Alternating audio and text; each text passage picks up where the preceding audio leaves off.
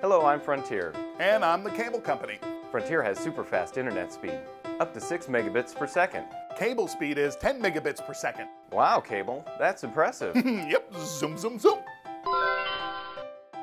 Frontier has speeds up to 6 megabits per second. You said that already. Yes, I did. Because no matter the time of day or how many users are online, Frontier is always fast. How about you, Cable? Maybe he'll catch up later.